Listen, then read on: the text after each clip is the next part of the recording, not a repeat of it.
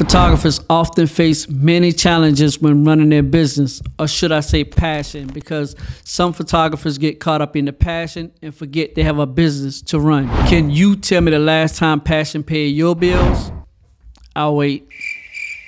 And don't feel bad because I was that guy too until I realized passion was not making me a profit and something in my business had to change. So in this video, I'm going to explain to you why your photography business is not growing and what you can do to fix it. Okay, let's dive into it. Photographers love to follow other photographers talking about camera gear. Don't you already have a camera? What's the purpose of following a photographer that talks about cameras? If you already have a camera, that camera should last you up to three to four years.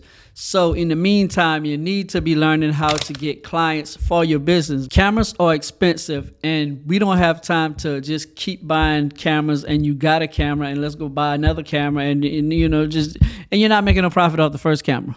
You want to make a profit off the camera, then go buy another camera. That would be the correct way to do it as a photographer because the next thing you know, you're looking for another camera to buy and you haven't made profit off the first camera. Does that make sense? No, it does not make sense to me. So you're probably thinking, what should I do? Unfollow the photographers? Yes, that's what I did. And after I unfollowed the photographers that were talking about camera gear, I no longer wanted to buy a camera. And I started to learn how to get clients after that. And since then, I have had the same camera body for the last three years and I made a whole lot of money and not bought one camera piece of gear, flash, camera body, lens within the last three years. But I made a profit, and that's all that matters in my photography business because I am a full time photographer. So, how am I going to run my business if I'm always buying camera gear? Come on now. Let's make it make sense. And I know, I know, I know. You probably grow your business off social media like me, Facebook friends, family members and they're only going to pay the price that's convenient for them.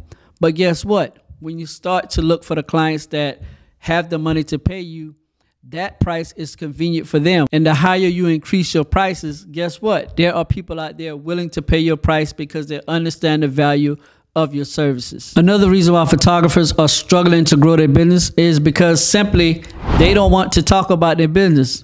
What do I mean by that? Business owners literally had the power to promote their business every day, all day. It's not like in the 1900s and 80s where business owners had to pay for newspaper ads, commercials on TV, all the yellow pages. You can simply just turn on a camera or turn on our phone that we pay a monthly bill for and promote our businesses to the world every day, all day, three or four times a day we have the power to do so. So why not get in front of the camera and talk about your business so the world or your potential clients can hear about you or know about your services that you offer. So story time. I just got an inbox from a photographer a few months ago and they was asking me, "Hey man, what are you doing to get clients nowadays?" And I went on their page and only thing I see was photos. So I went back into the DM and was like, bro, you got to talk about your business. Like, this is 2024. Video content is winning. All you have to do is turn on your camera, talk about your services. You know, even if you want to take some tips from my page and recreate your version of it, do that, man. You have to start making video content to talk about your services because nobody is going to talk about your services like you people buy from people nowadays. So now you have to sell yourself to the world. Like literally sell yourself to the world. There's nothing wrong with that. People are going to book you because they like you. Literally, you can just show the behind the scenes in your stories. Talk about your services, talk about what you have to offer, talk about any promotions that you have, talk about how you're going to help the client. Like that's all you have to do as far as creating content on a daily basis, weekly basis. Just start creating content. I started creating content maybe about a year and a half ago, but I really got into it and understood how to create content maybe about four or five months ago. And my page really grew once I understand what to do as far as creating content. I really start getting leads and I also started getting a bunch of followers. Like my Instagram page was at 5,000 followers and now it's up almost at 30,000 followers. So creating content has helped my business out tremendously. Getting in front of the camera. And of course, it's going to be hard. It's just like any other thing in life that's hard. Like when you was a baby, you walking now. when you was a baby, you could you couldn't feed yourself. So like as long as you keep doing it over and over, you're going to get better at it. So just start creating content. It's going to help your business out you're going to start getting clients. And the majority of photographers are not creating content. So you always want to do what other photographers are not doing to grow your business.